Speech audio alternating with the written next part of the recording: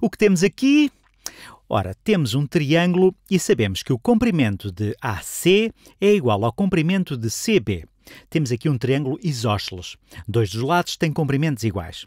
Além disso, sabemos que esta reta não lhe dei um nome. Deixem-me dar-lhe um nome só pela piada. Vamos chamar-lhe. Devemos chamar-lhe semirreta, porque começa em C. A semirreta CD é paralela ao segmento AB. Interessante. Depois dão-nos as medidas das amplitudes destes dois ângulos adjacentes. São-nos dados em função de x. Neste vídeo quero tentar calcular x.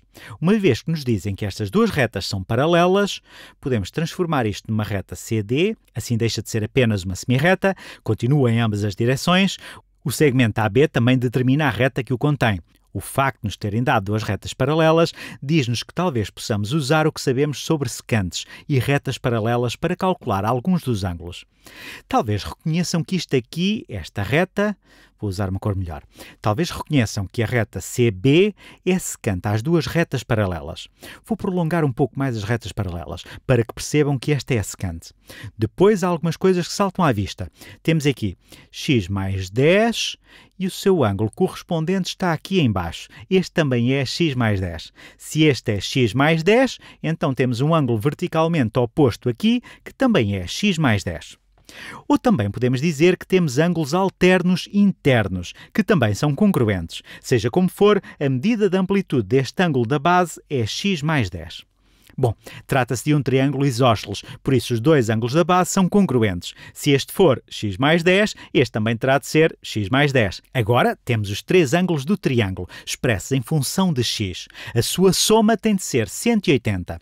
Então podemos calcular x. Temos 2x mais x mais 10 mais x mais 10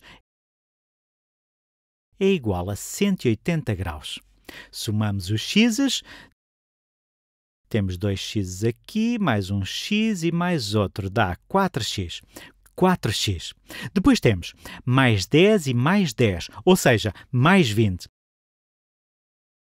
é igual a 180. Subtraímos 20 a ambos os lados e dá 4x igual a 160. Dividimos ambos os lados por 4 e dá x igual a 40.